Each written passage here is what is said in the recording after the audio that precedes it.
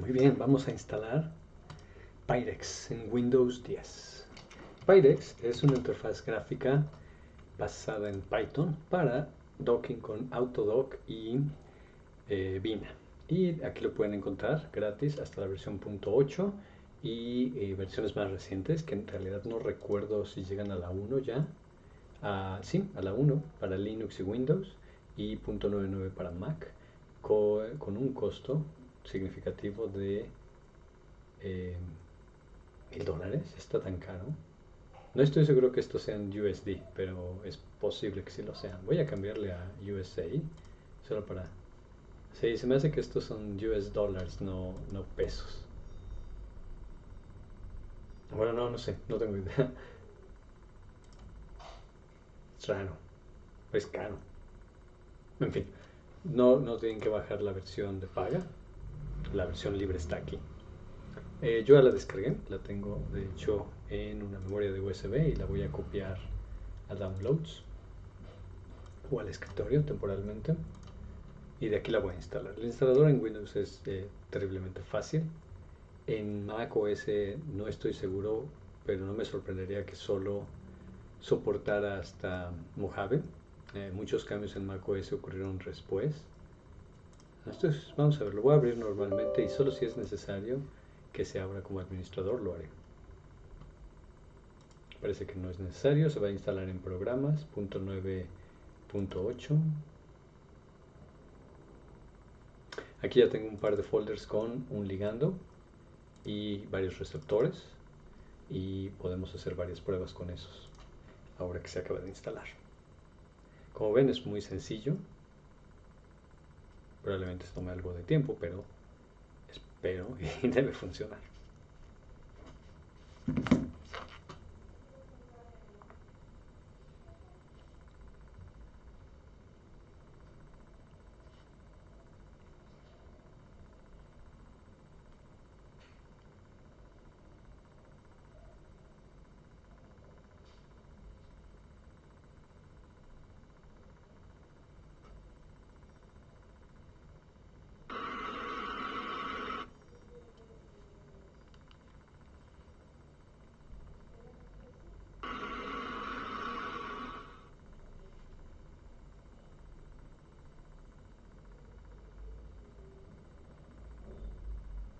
Me sorprende que progrese tan lento.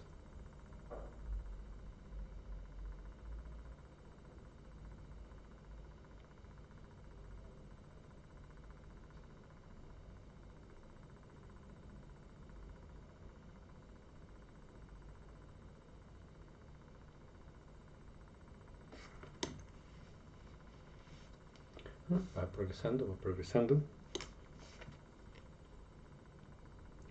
Parece que sí es el tipo de instalación que uno se puede preparar un café, dejarla corriendo, lo a tomar cómodamente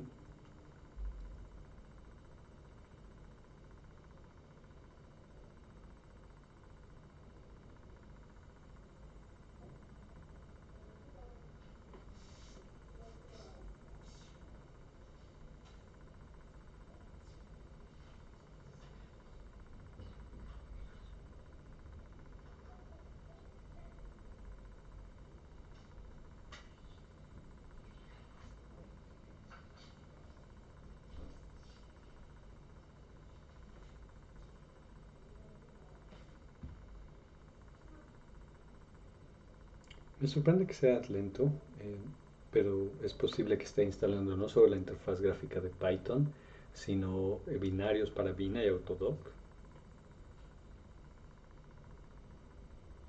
Y admito, es la primera vez que la instalo en Windows.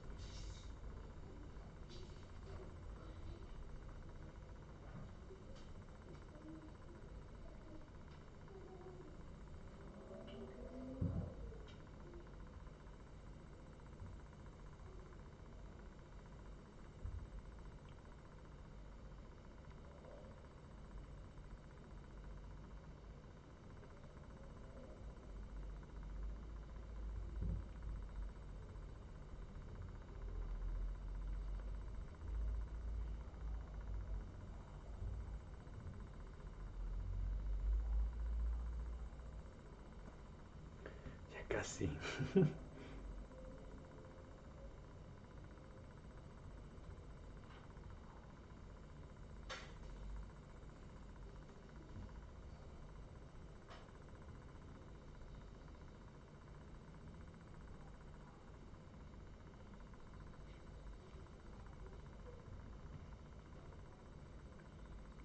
Ya casi. ya, estoy desesperado por probarlo y mostrárselos.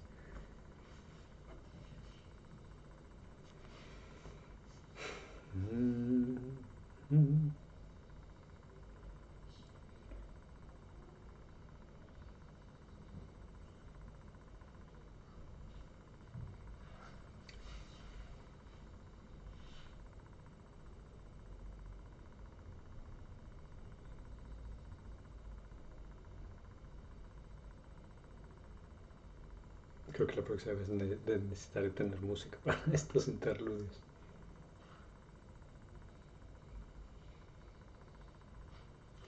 Casi, casi listo, casi listo.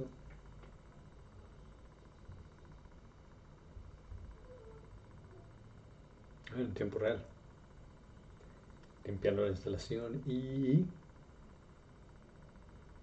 Excelente. Voy a pedirle que lo lance de inmediato para que lo veamos. Pyrex por defecto va a crear un folder oculto donde va a salvar los resultados. Ustedes siéntanse libres de modificarlo. Yo lo voy a dejar así y les voy a mostrar dónde puso el folder oculto en mi computadora. Entonces aquí tenemos la interfaz gráfica. Y en Edit Preferences es donde podemos ver, aquí está este Workspace, que es donde va a buscar, perdón, donde va a colocar nuestros archivos. Es en el folder de usuarios, el nombre del usuario, Pyrex Workspace. No lo voy a modificar, pero sí voy a buscar abrir ese folder. Está en usuarios, users, action y workspace. Y aquí en ligandos, va a salvar los ligandos. Aquí podemos ver que hay un par. Y aquí en macromolecule es donde va a salvar los receptores preparados. Parecería que ya lo había instalado. Solo quiero asegurarme.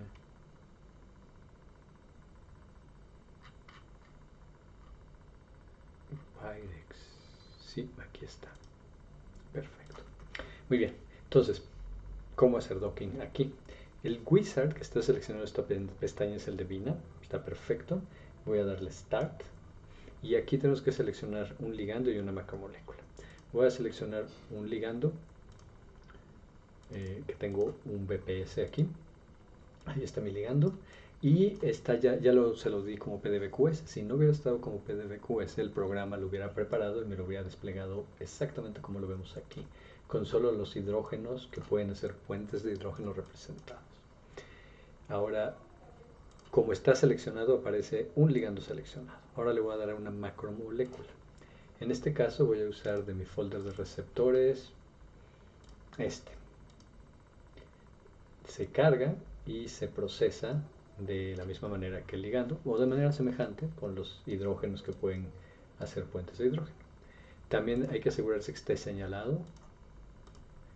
No obstante, pueden señalarse más de un ligando. Apretando la tecla de control puedo seleccionar varios y se hará el docking de cada uno sucesivamente. En este caso solo voy a hacer el, BPS y voy a dar clic en el botón de forward. Ah, que veo, no lo ven, está aquí abajo. Forward. Aquí está seleccionando la posible caja donde va a ser el docking. Le voy a dar reset y eso está cubriendo todo el receptor. Eso me parece adecuado. Aquí puedo decirle en parámetros que los cambie o en run Bina que ejecute el programa. Voy a dejar los parámetros de default, 8 de exhaustividad. Voy a pedirle solo 5 resultados y le voy a dar run Bina.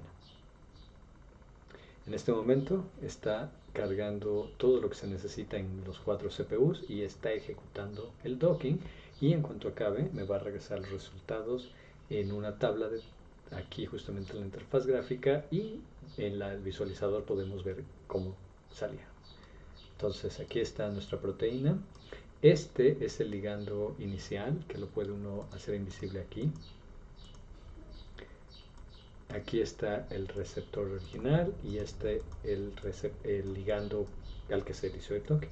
Tenemos esta tabla que da del mejor resultado al peor y uno puede seleccionar los diferentes resultados y ver qué cosas han cambiado.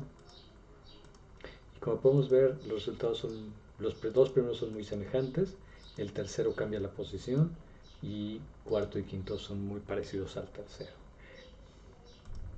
Y ya los tenemos, tenemos nuestro primer resultado. Voy a cerrar el programa. Todos los resultados van a estar almacenados en el folder que les mencioné en Users, en el nombre de usuario, y en Pyrex Workspace. Aquí están el folder de la macromolécula con eh, la macromolécula.